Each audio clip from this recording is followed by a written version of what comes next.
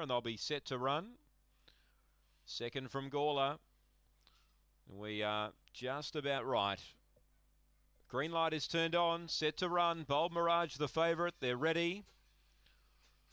Set, racing. Bold Mirage, second last away. Good speed, Cosmic Jenna will lead. Bold Mirage is darting between runners to go to second and charge after the leader.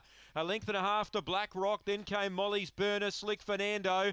He's a burner. Last favourite gets clear now, though, Bold Mirage. And he put about five on them in the space of uh, a real quick time. Second, Black Rock. But uh, Bold Mirage defeats Black Rock and Slick Fernando.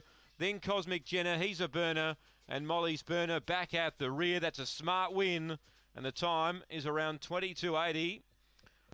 And that was a very impressive win, the way that he was able to manipulate a run down the back. 22.79, it's a new PB.